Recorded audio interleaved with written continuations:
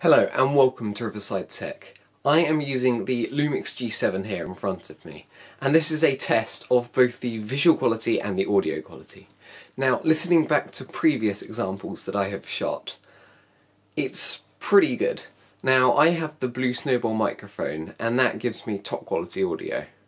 But using this camera I find that I don't really need that because the audio quality is good enough for shooting alone and the visual quality, well, as you can see, it is what it is. And the audio quality, well, I'm shooting on this camera at the moment, so you can hear what it's like. Now, before I used this camera, I used the Canon 1200D. Now, the audio quality on that was frankly abominable, and using this G7, it's a massive upgrade, and on that note, it's pretty good. I'll see you in the next video. Goodbye.